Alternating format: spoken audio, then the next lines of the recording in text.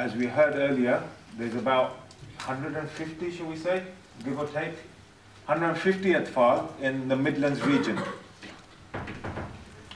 How many do you think there are in the UK? 2,500. 2,500. Slightly less, I'll tell you what it is. It's about 1,800. We just came from Bradford today, that was the northeast region.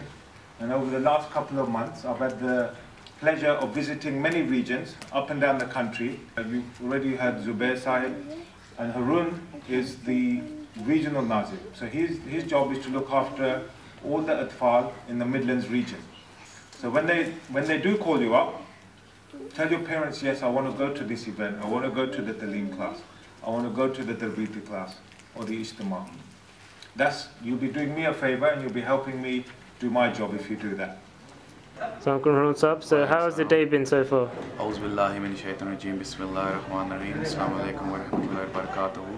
Alhamdulillah, we've uh, completed uh, a most successful uh, Atfal al-Ahmadiyya Ijtima today.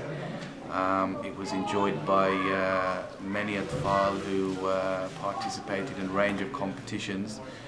On the day itself, um, we were able to uh, start with our session, opening session, go straight into academics where there was record participation, um, excellent participation in terms of all of the different age groups. At least every Tifl uh, was involved in some aspect of the competition. Uh, we've had an opportunity to attend uh, uh, Northeast and Midlands today. Um, Alhamdulillah, both have been uh, excellent.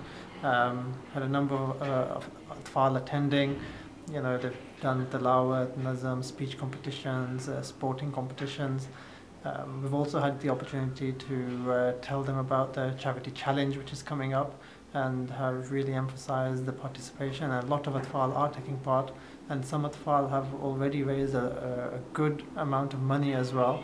We concluded with our final session where we were joined by uh, National Mohtamim Atfal, Nasir Khwaja who delivered some excellent words. Uh, we, we spoke also on the charity challenge as well, uh, where we, we were satisfied to hear that there was a, a, a very generous collection of money in uh, preparation for this. And Alhamdulillah, uh, the day was very much so enjoyed by all of our Atfal. I would like to personally thank all of the parents, the Atfal, the Amla, everybody who's involved in this, national representatives who came down from the centre. Uh, Alhamdulillah, excellent Ijtima.